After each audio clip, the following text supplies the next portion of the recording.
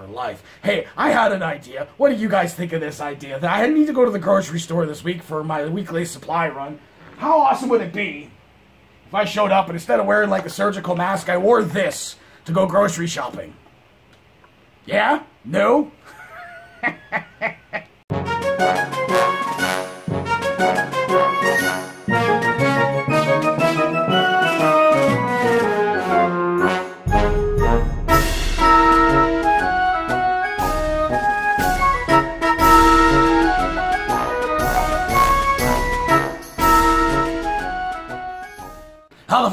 you yeasty labia? Galactic criminal here.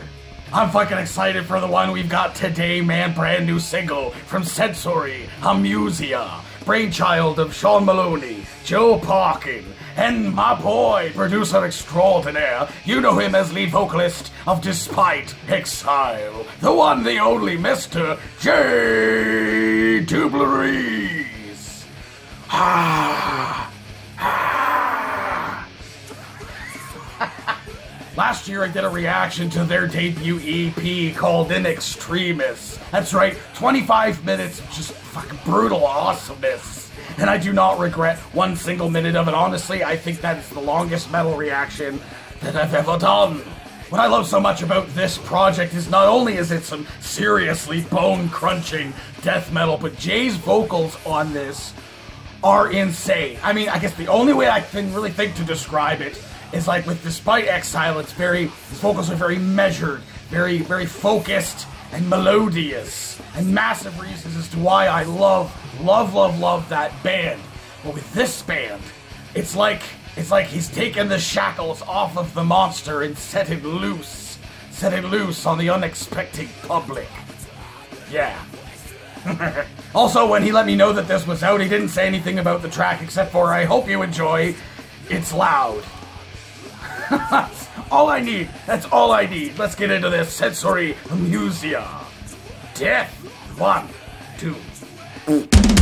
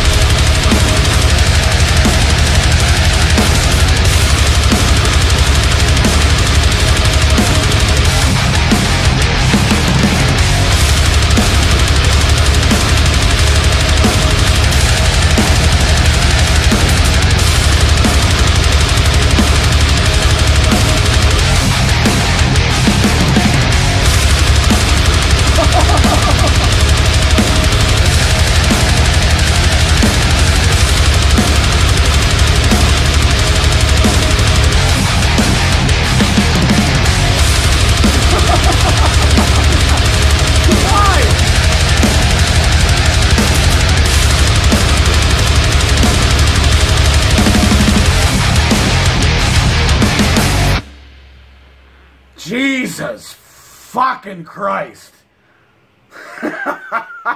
oh, wow. I mean, that thing was like Fellowship of the Ring. I uh, it should have ended a bunch of different times. you see what you get when you program your drums just brutal. or at least I assume that they programmed the drums. I mean, if somebody's actually playing that, that's pretty fucking fantastic. To be completely honest, it sounds like something coming from, uh, from, uh, what the, what the fuck are they called? The, the baby killer band. Fucking Infant Annihilator. Infant Annihilator. It sounds like something that would have come from those motherfuckers. And it was just murder. Murder off of the top of this. That was that completely exceeded my expectations. Again, this is one I'm going into another one with a bias. I already love Jay and I heard the, the band before. Like I said, the EP that I reacted to last year. I believe this is already better, in my personal opinion, than most of what was on that other EP. I mean, this is just like it looks like it said it was just track two on the motherf- on this motherfucking EP. Man, cool shit. I believe the two guys, the guitar and bass, are from Australia and he's in Italy, so this is, I, yeah, and then this is like a cross country fucking project type thing. That was so good, just relentlessly cool, dude.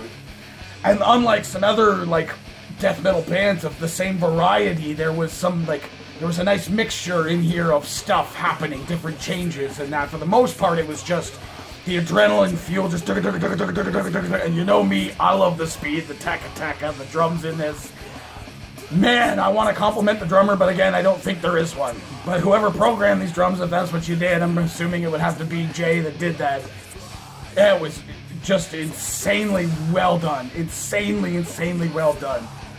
Man, the adrenaline that came out of me from this track was so good. I think the only complaint, the only small minuscule complaint that I have with this was for at least, I, I think maybe I got used to it or maybe it changed throughout the track, but from the beginning to like almost the midsection, maybe just like that first third of this track, the vocals seemed a little too subdued for me.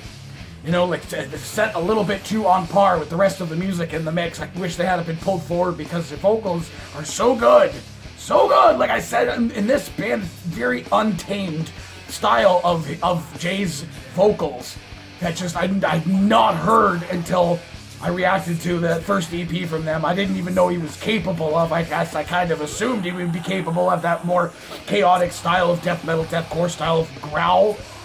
Dude, but he just he does it so well, and with enunciation and everything, there wasn't any garble in there. There was a bit of tunnel screaming in here too.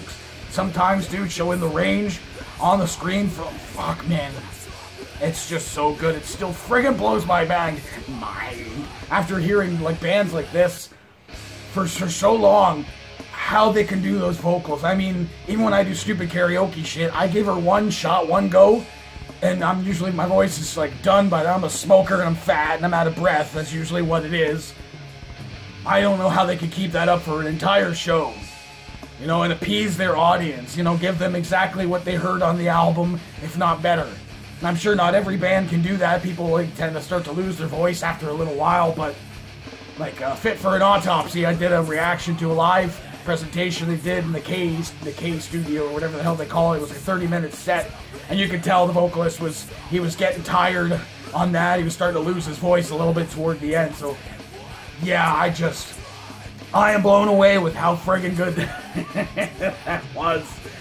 Oh man, this week is setting out to be some good shit. I really hope that uh, Crystal Lake drops their new track early enough tomorrow for me to be able to get to it for Wednesday's reaction. We had some some sick shit from Spiritbox yesterday, man. Some fucking erase me from Make Them Suffer was badass. That was what last week. I just yeah, this year just keeps getting better, better, better, better, and better for fucking music, and just worse and worse and worse and worse and worse for life. For life. Hey, I had an idea. What do you guys think of this idea? That I need to go to the grocery store this week for my weekly supply run. How awesome would it be if I showed up and instead of wearing like a surgical mask, I wore this to go grocery shopping? Yeah? No? Overall, this track was absolutely phenomenal. Other than, like I said, maybe having brought the, the, the, the bleh, maybe having brought the vocals forward a bit more, I have no criticisms.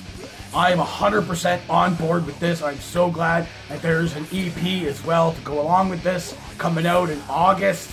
The end of August, I think it said there. Yeah, I'm excited. I am excited.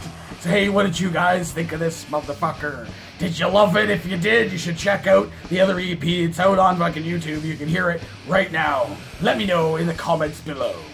Of course, there'll be a link in the description for this video so you can go ahead and watch it for yourself full screen for audio and get the full experience. And as always, have yourself a fantastic evening.